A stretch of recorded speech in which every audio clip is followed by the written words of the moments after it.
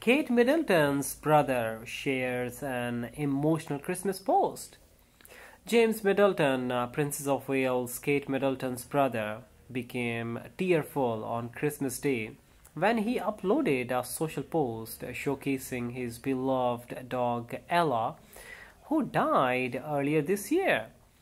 James' uh, Christmas message also includes a photo. That photo link is in the description also includes a photo of his newborn son Inigo, born in October.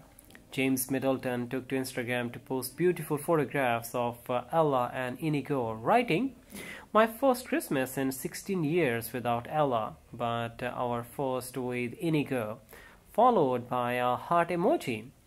Happy Christmas from my family to yours, writes uh, Kate Middleton's younger brother.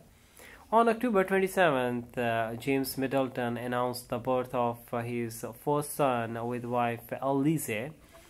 James went on to say uh, he has been in our lives for just a few weeks, but uh, they have been the most special, uh, most special of my life getting to know our beautiful baby boy.